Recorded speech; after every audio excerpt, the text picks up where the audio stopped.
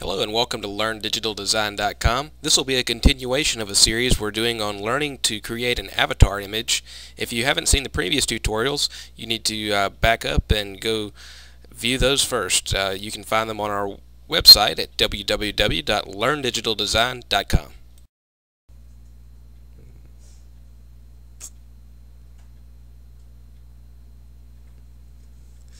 Alright, now uh, over here we're going to clean up this a little bit and delete the ones that we've already done.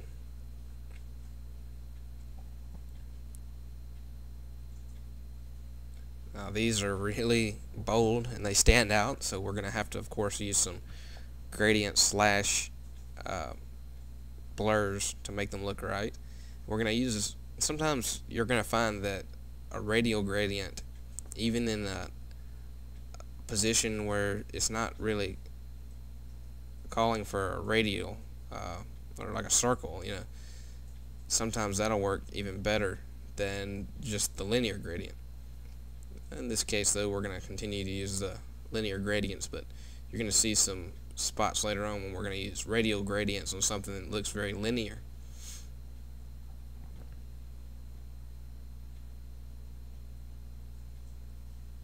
And you just basically play with these things until they look right. Always remember if it looks too bold go to gradient and then go to blur. And without fail you'll get a softer uh, object that will blend more into especially a face which is what we're dealing with here. There of course be many applications where you would definitely not use any blurs. Um, if you're drawing some type of architecture or something you don't want to blur because you want hard edges on all of your forms but on a face blurs are absolutely necessary.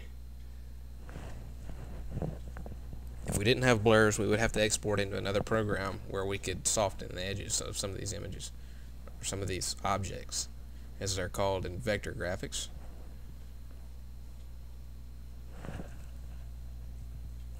Now as you can see on these lips there's a lot more that we're going to have to do to them. There are a lot of surrounding objects like shines. There's a shine right underneath the nose and on the chin that we're going to have to add.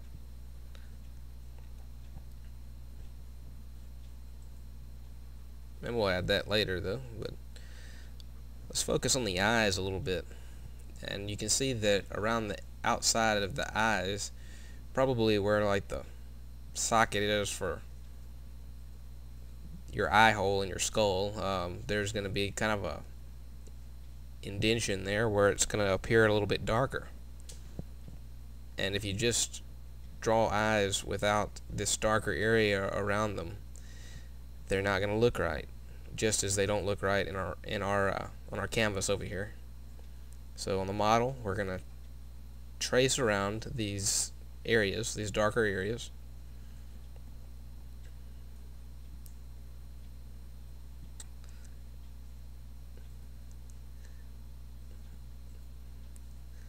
And uh, kind of looking back at our model for our canvas here for a little bit of reference. I don't like this uh, at all at the bottom of the nose and it's bothering me so I've got to adjust it a little. Sometimes if something's bothering you it's okay to stop everything you're doing and adjust it a little bit because uh, you need to be able to focus on what you're doing and not be bothered by some little details so just fix what you need to when you need to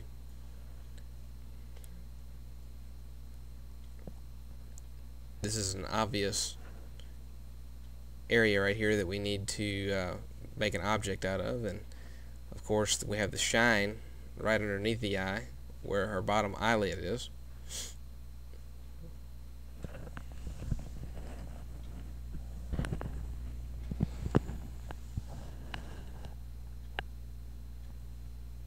Now we're going to need to repeat the same thing on the other eye and their other eye is a little different in the way the light is reflecting off of the bottom eyelid and this you know for, should be a lesson to those of you who uh, maybe aren't used to drawing faces already, like with a pencil or something. Faces are not symmetrical. And a matter of fact, they uh, I saw an image once where someone took a face that was, of course, not symmetrical because faces aren't symmetrical. And they made it symmetrical by copying one side and pasting it on the other side flipped. And if you ever do this, you can do it with a computer, you could do it with Inkscape. You can see that it doesn't look right. Something looks wrong when the face is completely symmetrical. So that's one of those things about a face that I was telling you before that your eye has a natural instinct to be able to pick up. That's why faces are the hardest thing to draw. But with Inkscape, you no longer have to worry about that because you can vectorize anyone. And if you can vectorize anyone, you can vectorize anything because, once again, obviously faces are the hardest thing to do. We have these kind of darker areas back behind the eyelashes here that I'm going to use as well. There's this dark area here.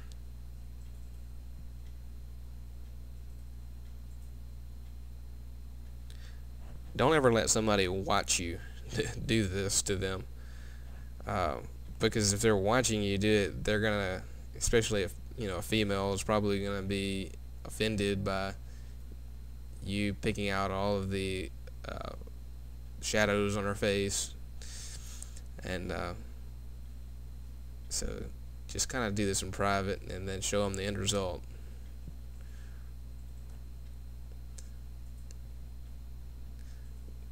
As you can see on this face, uh, we have a shadow that goes all the way around the outside. And that's okay to make that one object. And the way I'm going to do that is trace around it like so. And then once I get back up into the hairline, I'm going to shoot out outside of the head area. And what we're going to end up doing here is going to we're going to make an intersection. We're going to intersect this object with the head object. So in order to do that, what do we need to do? Grab the head object and make a duplicate first, otherwise that's going to disappear. Then grab the other object by holding shift and then go to go to object and intersection and you need to start learning these hotkeys also because as we continue on with the tutorial series here I'm not gonna continue to go to path and then intersect and path and difference you need to know that control shift 8 is intersect control minus key is difference so also control D is duplicate Control C is copy and Control V is paste. And I'm sure most of you know that, so hopefully uh, don't be offended by me uh, going over that, but I'm sure that some of the viewers won't. And uh, as you work with computers and if you get into digital design, you're going to really be able to improve your uh, work process and the speed that you can get things done by understanding these macros. And yes, a macro is kind of like a hotkey. It is, as a matter of fact, it's exactly what it is. Alright, now we're going to grab that same object that we just put around the outside there, and we're going to color it in with a sample from the other side. Then we're going to appropriately place it, uh, you know, below some of these other objects, like the hair, for example. It needs to be below the hair with the page up or page down key